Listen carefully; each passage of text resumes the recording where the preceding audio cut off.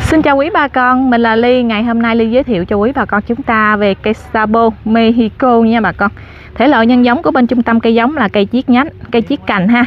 Những cái này là những cái cành mẹ nè, thì bên Ly sẽ chiết bầu ha, bầu cho nó ra rễ thì sẽ cắt xuống, cắt xuống là sẽ sang ra một cái bịch giống như vậy, nuôi lại cho cây nó nó nó quen, nó thuần chậu thêm một lần nữa ha. Còn cây giống này, cây giống nè, quý bà con chúng ta nhìn thấy lực lượng không ạ?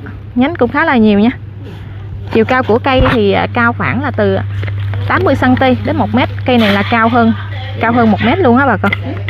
Cây đang à, được nuôi dưỡng lại, cây phát triển cũng rất là tốt nha. Sabo Mexico thì cây giống cũng rất là dễ trồng nha bà con. Ly cũng thường xuyên chia sẻ cho quý bà con chúng ta cũng rất là nhiều rồi. Cây Sabo thứ nhất là nó sẽ hạn chế được sâu bệnh nè, còn cái thứ hai nữa là cây dễ trồng, chúng ta trồng được trên nhiều vùng miền hoặc là trồng được trên nhiều vùng đất khác nhau có. giống như là vùng đất mà bị à, kém dinh dưỡng nè. Chưa. cụ thể là vùng đất bị nhiễm phèn ha.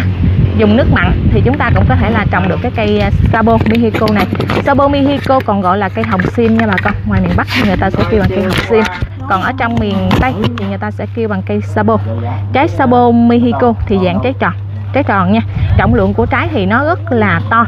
Trái có thể là là từ 300 gram đến 800 gram luôn nha bà con. Ở trong ruột thì nó sẽ màu màu à, màu nâu nha. Trong ruột thì nó sẽ màu nâu. Ăn rất là ngọt nha bà con. Ăn cũng rất là ngon luôn. Nên ly cũng thường xuyên giới thiệu cho quý bà con chúng ta nào thích trồng mà kinh tế nè, thì chúng ta cũng có thể tham khảo về giống Sabo Mexico này. Còn khoảng cách trồng Sabo Mexico thì chúng ta trồng khoảng cách là 6 mét một cây nha. Trước khi trồng thì chúng ta phải lên mô nha bà con, khu vực miền Tây à, đất ruộng lên liếp thì chúng ta phải lên mô nhẹ nha. Lên mô tầm khoảng là từ cái à, nón lá úp ngược xuống. Hoành mô thì cao khoảng là từ 40 cm đó, làm cho nó rõ nước ha. Khi nào cái cây lớn lên thì chúng ta bồi đất vô từ từ. Thì cái cây nó sẽ phát triển tốt nha. Còn cái cây Sabo Mexico này thì thể loại cho trái truyền nha bà con. Hầu như là quanh năm chúng ta mà trồng Sabo thì chúng ta nhẹ được cái cong chùi trái. Tại vì cái thằng Sabo Mexico này á, thì nó sẽ ít cám hơn là loại à, Sabo thường tức gọi là Sabo lồng mứt của chúng ta hồi xưa đó. Sabo lồng mứt hồi xưa thì cám rất là nhiều nha còn loại này thì nó sẽ ưu việt hơn. Giống như là nó sẽ cải tiến hơn là nó sẽ ít cám. Trái to năng suất nó sẽ cao hơn và ăn nó sẽ ngon hơn nữa. Nên à, cô chú anh chị nào chúng ta thích trong vườn nè trồng một vài cây nha để có trái độc trái lạ ha bà con.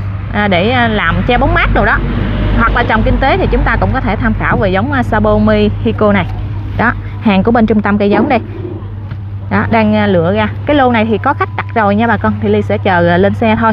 Nếu như cô chú anh chị nào chúng ta thích trồng Sabo Mexico hoặc là trồng loại Sabo nữa, đó đó chính là Sabo Cần Thơ, thì cô chú anh chị cứ việc gọi vào hai số điện thoại hiện trên màn hình để bên trung tâm cây giống giới thiệu cho quý bà con chúng ta kỹ hơn nha.